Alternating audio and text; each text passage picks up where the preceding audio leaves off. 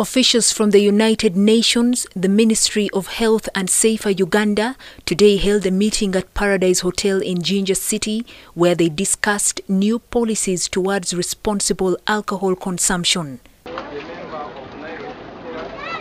Jackson Isabirye, the Public Relations Officer of Uganda Alcohol Policy Alliance, an organization which regulates the consumption and marketing of alcohol, says alcohol consumption in Uganda is worrying. Added that the locally made alcohol does not meet standards and is harmful. It's known worldwide that the alcohol that affects people, uh, locally contribute, the locally distilled contributes a very big percentage and uh, this is going to help us because we've been discussing with the, these delegates from their countries without when they know when they don't get a clear picture about how alcohol is produced locally.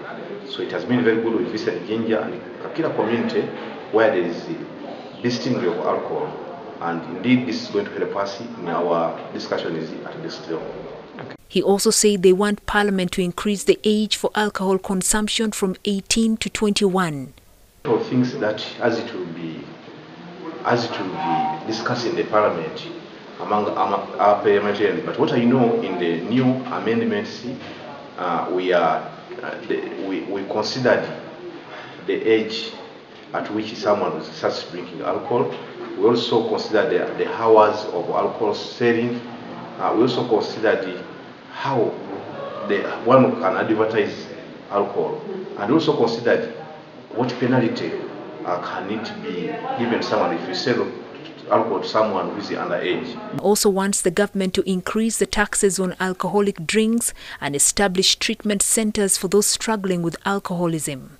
Dag Rekve, an official from the World Health Organization, explained that Uganda is among the countries that welcomed the initiative of eliminating the misuse of alcohol. And we have selected uh, Safer Uganda as the first uh, project uh, globally. In fact, Uganda is the first country where we try to implement the safer interventions, focusing on achieving a safer community, safer workplaces, safer childhood, safer roads, basically a safer life, livelihood uh, and free from alcohol-related harm.